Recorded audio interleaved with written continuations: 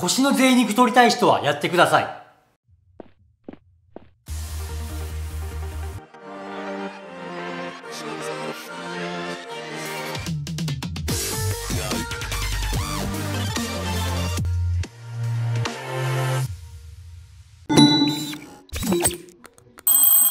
はい、皆さんこんにちは、タートルです。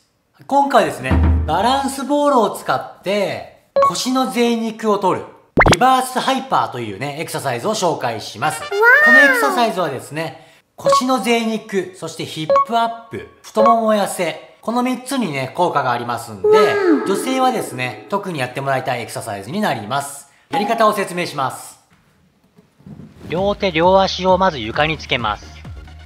しっかりお尻を締めながら体をまっすぐ保ちます。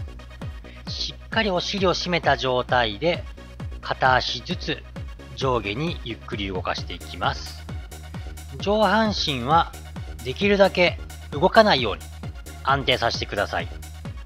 上半身と下半身が一直線になるように保ちながら足を片足ずつゆっくり動かしていきます。常にお尻は締めといてください。こういった感じです。ゆっくり動かしていきます。これをですね、だいたい30秒間行ってください。今みたいにですね、しっかりお尻を締めながら腰を収縮させる意識でですね、足をしっかり後ろに伸ばして、ゆっくり上下さします。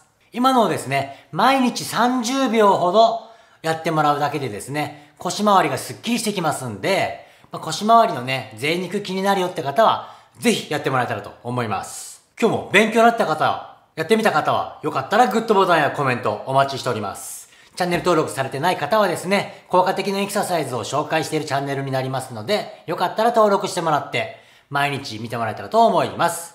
今日は皆さんご視聴ありがとうございました。